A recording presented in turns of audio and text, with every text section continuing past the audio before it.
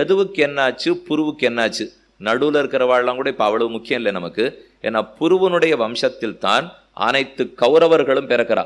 புருவனுடைய வம்சத்தில் தான் துஷ்யந்தனே பிறக்கிறார்.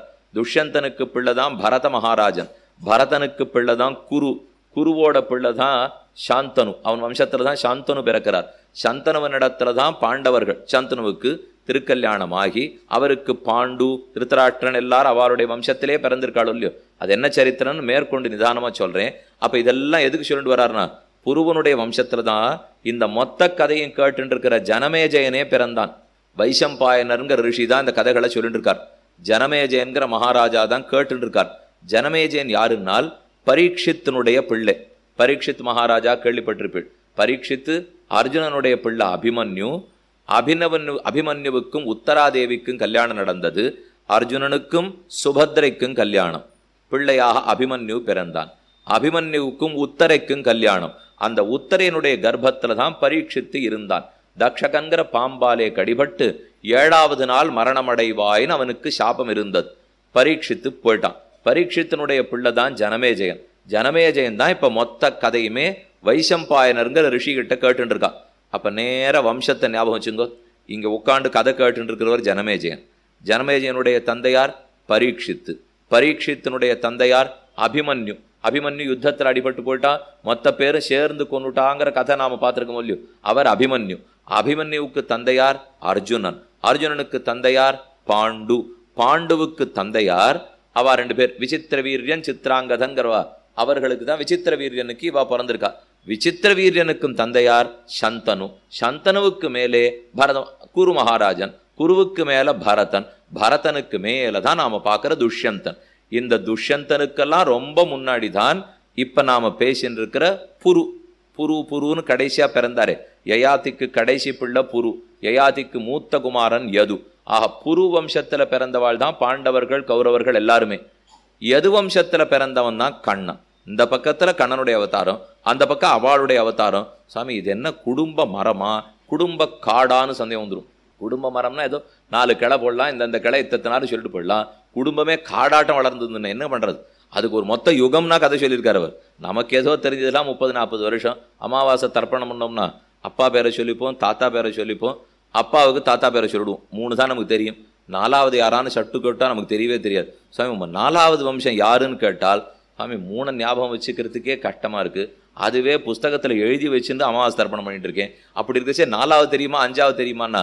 ஆனால் இவர்கள்லாம் ரொம்ப பெரியவர்களோ இல்லையோ? அதனால தான் அனைவருடைய பெயரையும் நன்னா எழுதி வச்சிருக்கா. இப்போ எதுவனுடைய கதையை பார்ப்போம் புருவனுடைய கதை பார்ப்போம். இவா எல்லாருமே புரூரவசுக்கு சந்ததியில பிறந்தவா தான். யதுஞ்ச துர்வசுஞ்சைவ தேவயானி வியஜாயத. துருக்கியும் ச சானுஞ்ச பூருஞ்ச. சர்மிஷ்டா வாரிஷ பர்வணி தஸ்மை சக்கரோ தத ரதம் பரமபாஸ்வரம் அசங்கம் காஞ்சனம் திவ்யம் திவ்யைகி பரம வாஜிபிகி யயாதிக்கு அவருடைய மாமனார் ரொம்ப வசந்த ஒரு தங்க விமானம் கொடுத்திருக்கார். அந்த விமானத்தில் ஏறிண்டு யயாதி தன்னுடைய மனைவிமார்களோட இங்கும் அங்கும் அற்புதமாக திரிந்து வந்தான். நன்கு நாட்டை ஆண்டான். தன் பிள்ளைகளுக்கெல்லாம் நாட்டை பிரித்து கொடுத்து ஆண்டுன்றிருந்தான். யயாதி மன்னன் மூத்த பிள்ளை எது கடைசி பிள்ளை புரு. வயசாண்டே போகிறது யயாதிக்கு. மூப்பு வந்து நலிய தொடங்கித்து. யாருக்கா இருந்தாலும் மூப்பு விட்டுடவே விட்டுடாது ஜரா ஜரான்னு சொல்கிறோம் ஜரைங்கிறது தான் மூப்பு. நம்மாழ்வார் ரொம்ப ஆச்சரியமாக ஒரு பாசுரத்தில் சாதித்தார். கொன்னு உயிருண்ணும் விஷாதி பகை பசி தீயனவெல்லாம் நின்னி உலகில் கடிவான் நேமிப்பிரான் தமர் போந்தார் திருவாய்மொழிங்கிற பிரபந்தத்திலே அஞ்சாம் பத்து ரெண்டாம் திருவாய்மொழி.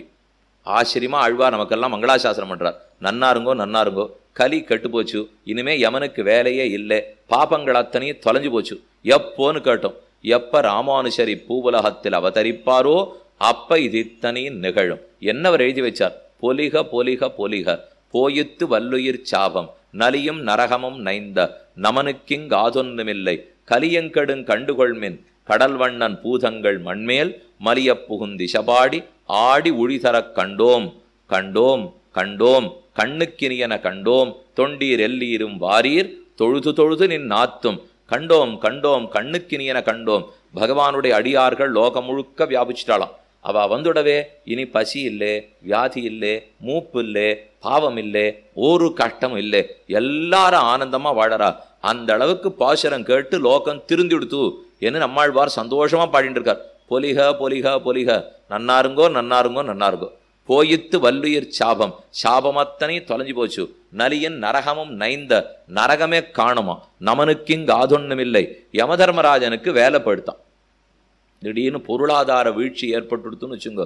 எல்லாருக்கும் சட்டு சட்டுன்னு வேலை போடுற சொல்லியோ ராமானுஷர் அவதரித்தார். பெரும் பாப வீழ்ச்சி ஒத்தருக்கு வேலைப்படுத்து மற்ற யாருக்கும் போல ஒத்தருக்கே ஒத்தர். யமதர்மராஜனுக்கு வேலைப்படுத்து இனிமே அவர் பண்றதுக்கே ஒண்ணும் இல்லையா நலியின் நரகமும் நைந்த நமனுக்கிங்காதொன்னுமில்லை கலியங்கெடும் கண்டுகொள் மின். கலி பெடும்படிக்கு கெடும்படி சுவாமி அவதரித்தார். அவர் திருவடிகளை பற்றுங்கோள்னு எப்பவோ நம்மாழ்வார் கோடி காட்டிட்டு போனார். அவர் ராமானுஜருக்கு ரொம்ப முற்பட்டவர்.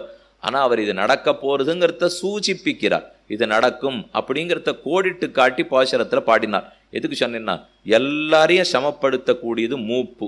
நமக்கு அது வர வேண்டாம் வர வேண்டாம்னு நினச்சிட்டு இருப்போம். ஆனால் அது சுலபத்தில் விடவே விடாது. நம்ம வயசாலே ஆலேன்னு சொல்லிகிட்டே இருக்கிறச்சே அது ஆயிடும். நாம தான் வளர்றோமான்னு சந்தேகப்பட்டுட்டே இருப்போம் வளர்ந்து போடுவோம். எப்போ தெரியும்? கண்ணாடியில் போய் நிற்கிறச்சே ஆங்காங்கு வெள்ளை தெரிய ஆரம்பிக்கிறது சொல்லு. தலைமுடியில் வெள்ளை தெரியும். இந்த பக்கத்தில் பார்த்தா வெள்ளை தெரியும். அப்படி இந்த இடத்துல வளர்ந்துருக்கிறத பார்த்தா வெள்ளையாக தெரியும். அதை பார்க்கறச்சே ஓ சத்த குணம் வளர்ந்துடுத்தோ அப்படின்னு நம்ம நினச்சிக்கணும். ஏன்னா சத்தகுணத்துக்கு வரணும் வெள்ளை. ரஜோகுணத்தினுடைய வர்ணம் ஷகப்பு தமோ குணத்தினுடைய வர்ணம் கருப்பு. நமக்கு இத்தனை நாளாக கருகருன்னு இருந்தது. சரி தமோ குணத்தோடு இருந்தோம் போல் இருக்கு. இப்போ வெள்ளையாக தலை காட்டிடுத்து சத்தகுணம் வளர்ந்துடுத்துன்னு வச்சுக்கணும். அப்படின்னு அர்த்தம் என்ன? வயசானாலாவது சத்தகுணம் வரணும்னு அர்த்தம். நாம் வயசானாலும் கருகருன்னு இருக்கணும்னு எதுக்கு தெரியுமா எதிர்பார்க்குறோம்? வயசானாலும் நாங்கள் தமோ குணத்தை விடுறதா இல்லைன்னு சொல்லிட்டு இருக்கோம். கர சின்ன வயசில் தான் ஏதோ வேகம் ஆசை கோபம்லாம் பட்டுருந்தோம்னா போனால் போகிறது அப்போ ரஜோகுண தமோகுணத்தோடு இருந்துட்டோம். ஆயிரத்து வயசு ஐம்பதாயிரத்து.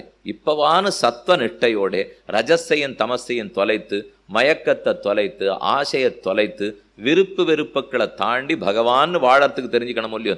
பக்தி எப்பவுமே ரொம்ப சாந்தியை கொடுக்கும். அதை முதல்ல நம்ம தெரிஞ்சுக்கணும். பக்தனா ஒருத்தர் இருக்காருனார் அவர் முதல்ல பதட்டப்படவே மாட்டார். எப்படி நடக்கத்தான் போகிறது பகவான் இந்த லோகத்தை நடத்திவிட தான் போகிறார் நான் இருந்தாலும் இல்லாட்டாலும் இந்த லோகம் நடக்கத்தான் போகிறது நம்ம இருந்தாலும் இல்லாட்டாலும் நம்ம குடும்பமே நன்னா நடக்கும். அதை முதல்ல எல்லாரும் புரிஞ்சுக்கணும். நாம என்னமோ நம்ம பிள்ளைய பெற்றுட்டுமே நம்ம மனைவியாச்சே நாம் காப்பாற்றினோமேன்னா எத்தனை இடத்துல முப்பது வயசில் கணவன் போயிட்டு குடும்பம் ஓஹோன்னு நன்னா இருந்திருக்கு தெரியுமோ? சில சில குடும்பம் கெட்டும் போயிருக்கலாம். அப்படி இல்லைன்னு சொல்லலை. ஆனால் ஒரு கணவன் போயிட்டார் மனைவி போயிட்டார்னால் அப்படியே ஒன்று எதுவுமே கட்டுப்படாது. நாம படைக்கல அவளை.